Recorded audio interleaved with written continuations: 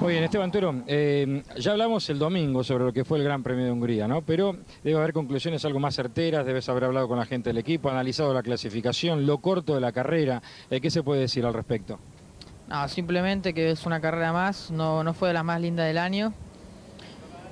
No tuvo una excelente clasificación y después en carrera tuvo una buena largada y después duró muy poquito la carrera, tuve que dejar pasar a Nakano en las primeras vueltas y, y después terminó porque se rompió el motor muy rápido. Eh, tuvimos la oportunidad de ver un mano a mano violento con Nakano, con Takagi, con Panis, hasta como vos decís, eh, te dijeron que lo dejes pasar a Nakano. Evidentemente venían un poco más rápido y vos cuidando la cuerda.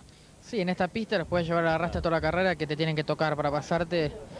Así que me tuvieron que dar la orden de dejarlo pasar y después, bueno, se rompió el motor. ¿El motor te avisó en algún momento que se estaba por romper? Es decir, eh, ¿ya te había dado alguna muestra? Sí, venía haciendo un ruido raro y de, de golpe se rompió. ¿Hasta dónde se podía haber llegado? No digo en posición, sino en cuanto a mejorar el ritmo y demás. No, el ritmo iba a ser ese toda la carrera.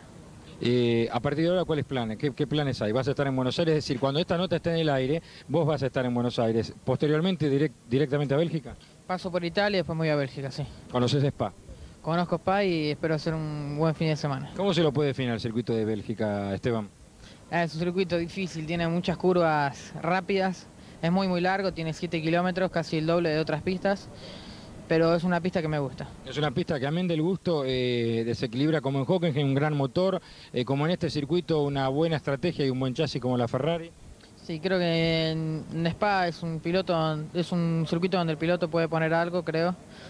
Este, y después, como decís, es muy importante también el motor. Decime una cosa, ¿qué te pareció la victoria de Schumacher? Porque es importante conocer la opinión de quienes están compartiendo en pista, bueno, lo, lo que hizo el alemán hoy, ¿no? Ah, anduvo muy bien, anduvo, anduvo muy rápido, hizo una buena estrategia de carrera y, y le dio, dio con todo hasta el final, la verdad que es para admirar.